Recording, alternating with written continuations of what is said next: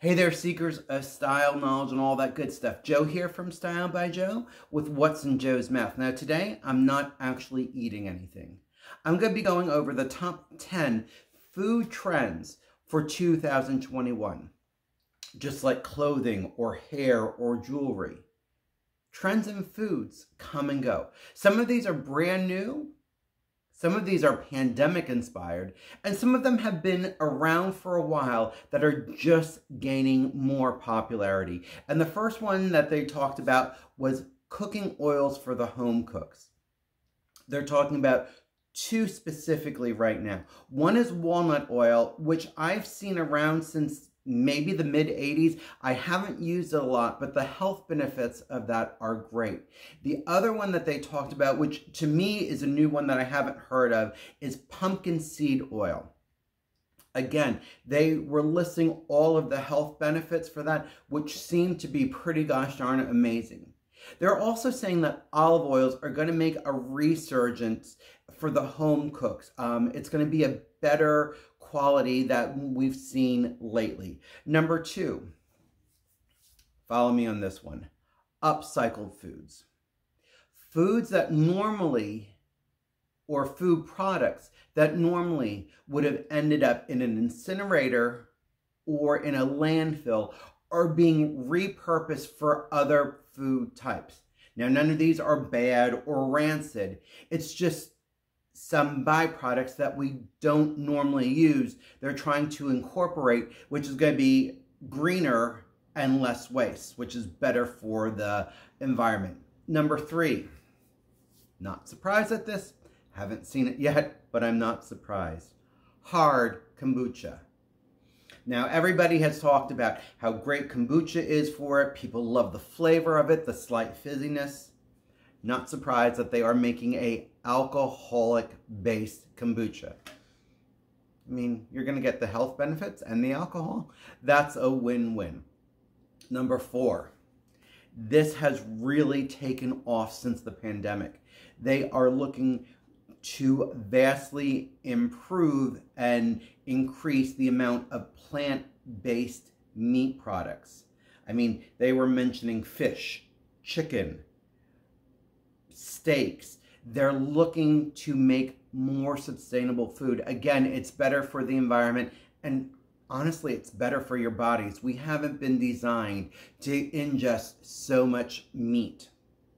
Number five, and I am completely separating this from what I just talked about. They are saying that plant-based jerkies are going to be huge this year. Uh, they specifically talked about jackfruit jerky and mushroom jerkies and the different flavors that they're going to be able to incorporate into that are incredible. Number six, again, this has been around since the 80s, boxed wines. Now in the 80s, it was cheap, it was inexpensive, they were thought of a lesser grade. The pandemic, more and more winemakers are making box. It takes up less room in your refrigerator. There's less bottles because it's a higher uh, volume normally of alcohol and, well, why not?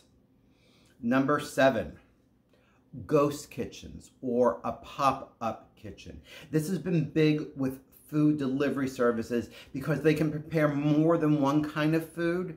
It takes less space there's less income for, or I'm sorry, there's less outputting of money because of the rent that you don't need and actually you need less insurance of that. So look for these ghost or uh, pop-up kitchens, not restaurants, kitchens, which delivery services are going to be using.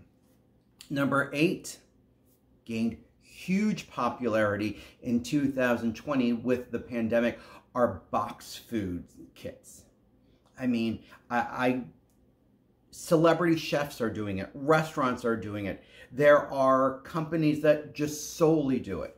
It's going to be a big thing. And I don't think that's going to go away after uh, the pandemic is over. I mean, you, you get the food that you need because you know the number of people you have. There's less waste. There's less byproducts. It's definitely more cost efficient as a whole. Number nine, huge this year, are gut healthy foods. They're not going away. People are doing more research on how much your gut, the bacteria in the gut, controls your whole system. I see that just getting further and further into a deeper business. And number 10,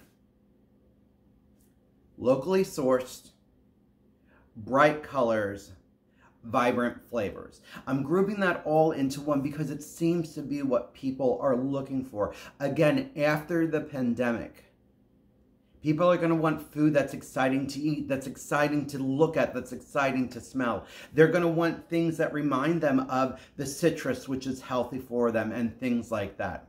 Hey folks, this has been Joe from Style by Joe with What's in Joe's Mouth. Today I went over 10 of what I see to be the biggest food trends for 2021.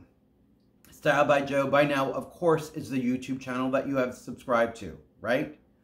All my social media is listed below. If you follow me on one, you should probably follow me on another. Thumbs up are great. YouTube actually tracks me with that, makes me seem like more of a viable business. Sharing these videos with your friends and family are great because I get in front of other eyes. Folks, stay stylish. I'll talk to you soon.